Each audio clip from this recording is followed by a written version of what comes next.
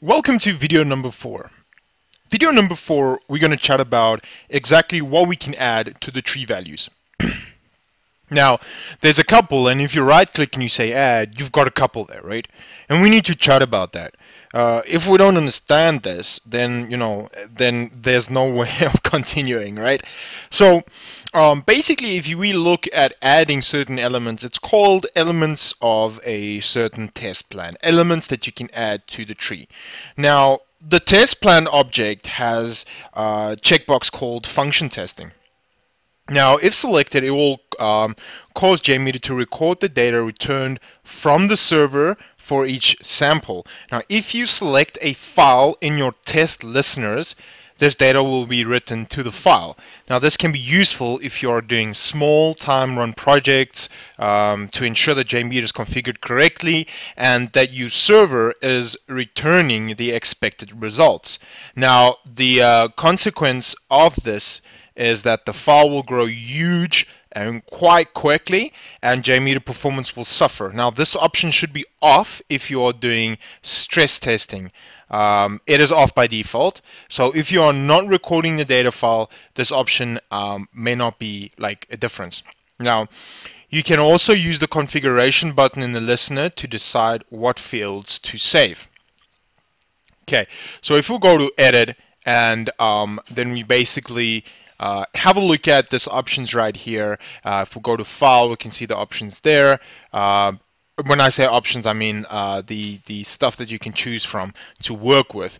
So um, now, when we go to the to the options section, uh, you can have a couple of things here. You can have the function helper dialog box, and the function uh, helper just uh, is just uh, a helping section that will that you can add uh, certain elements uh, to um, the the function to actually help you, and, and it will generate it. So if we go back to options, and you can actually toggle um, toolbar or not toolbar, and you can actually have a look at uh, you know the uh, log viewer as well. So you also have SSL manager. You can choose your different language that you want this to be uh, to be uh, worked on. Um, and now I need to try and get it back to English. It's gonna be quite ah there we go. So in French it's called different.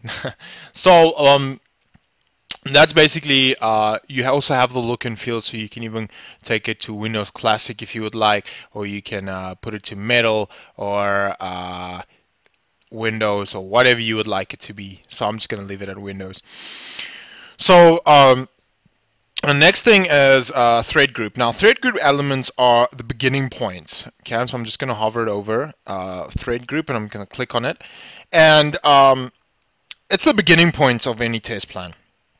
All controllers and samples must be under the thread group.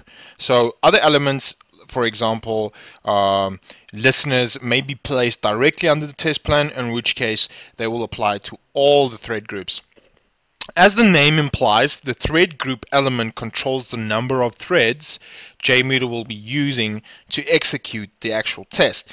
Now, the controls for the thread group allows you to either set the number of threads right here, Okay, so it's by default it is set to one.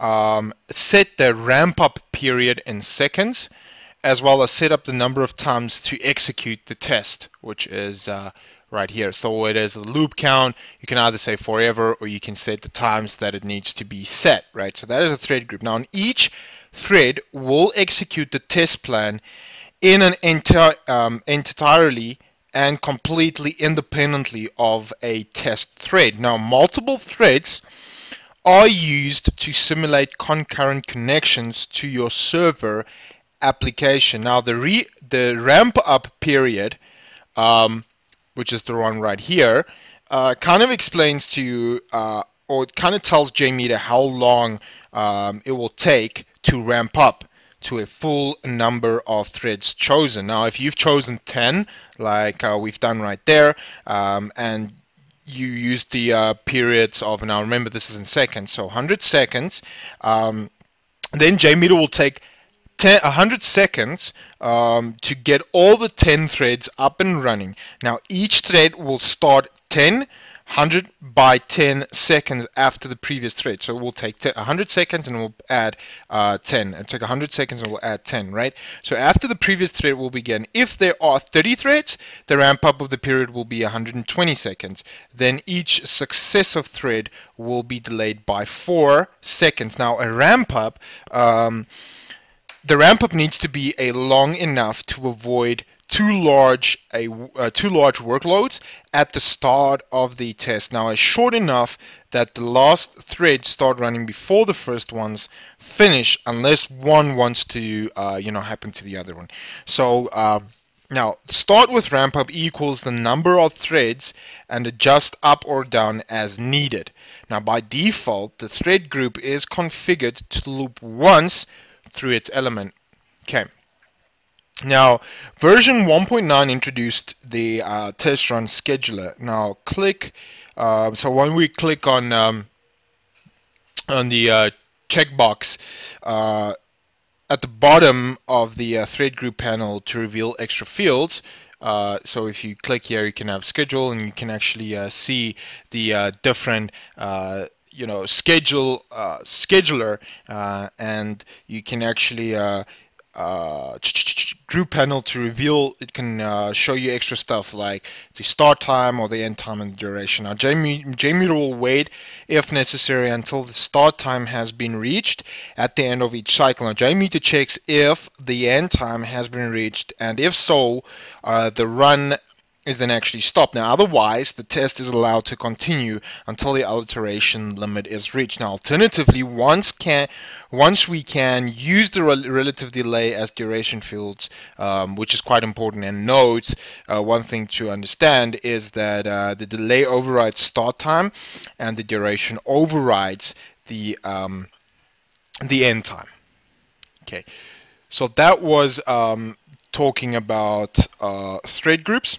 Uh, the next video we're going to chat about controllers. This was video number four.